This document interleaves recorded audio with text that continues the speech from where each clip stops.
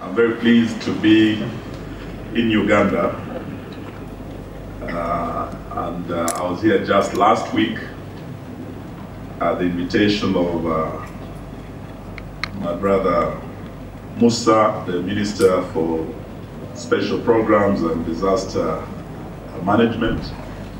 And I was invited to Moroto uh, over uh, the cross-border initiative that we are starting in the Karamoja uh, cluster uh, region.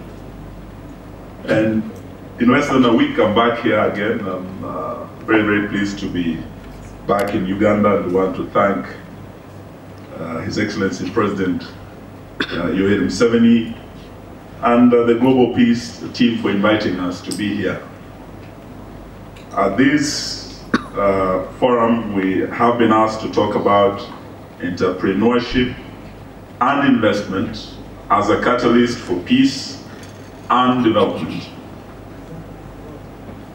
The region I've talked about called Karamoja, I think uh, is a region where the oldest ancestor of man comes from, the Turkana boy. And that is why it is called the cradle of mankind. About a year ago, I accompanied my president, His Excellency Uhuru Kenyatta, to France. And we were presenting artifacts that have been found by archaeologists that showed that apart from uh, this Turkana boy being the oldest ancestor of man, in this same region, the Karamoja cluster region, the earliest tools ever made by man were discovered in this same region. And as much as it was all agreed universally that this region is a cradle of mankind, it was also agreed in France at the time that this same region is really the cradle of entrepreneurship.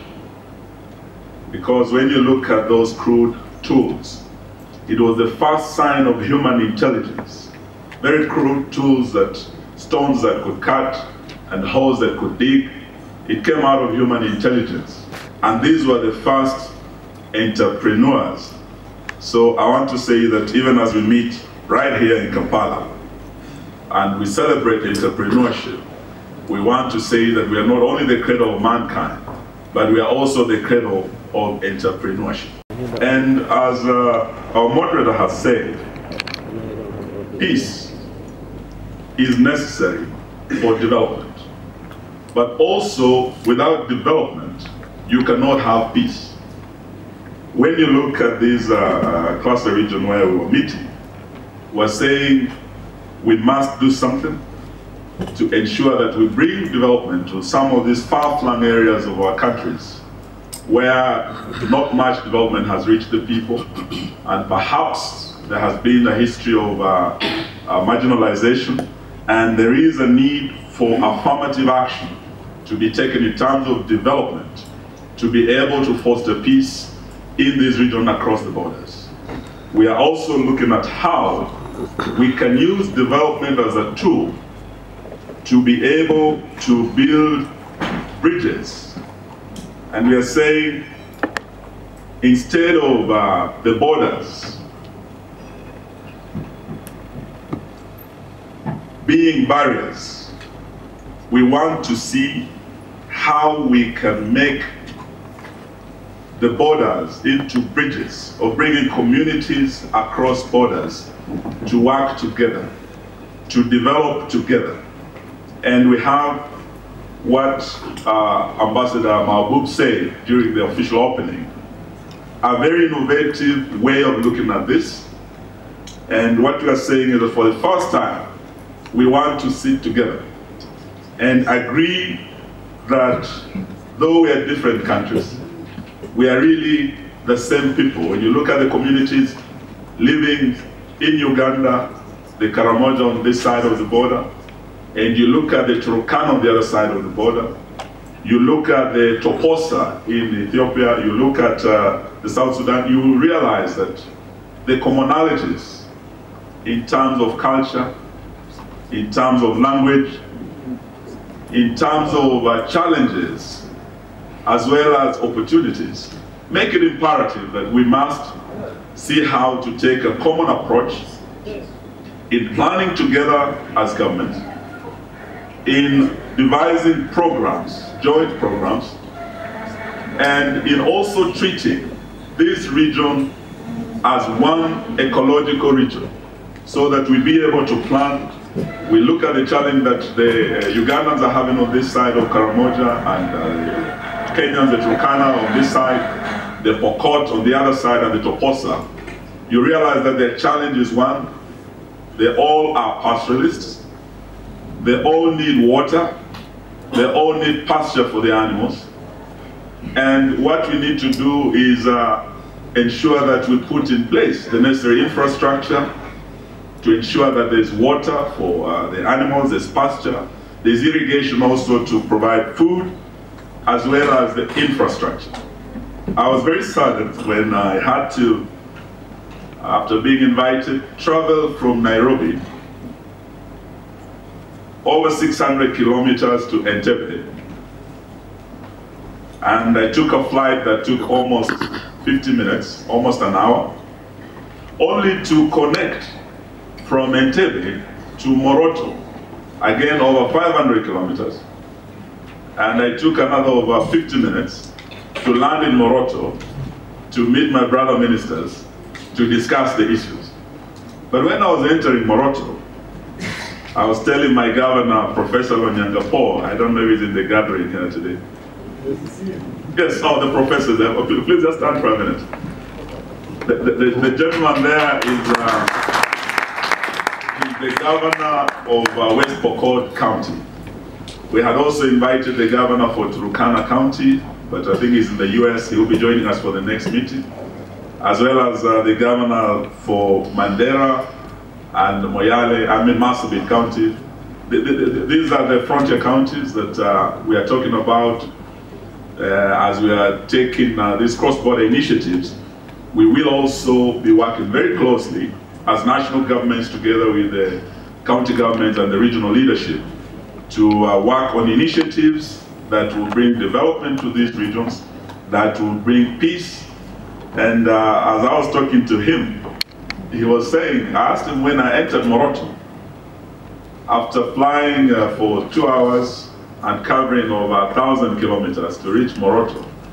I saw a signpost in Moroto town showing my hometown Kitale. On the other side, I saw a signpost showing Turkana.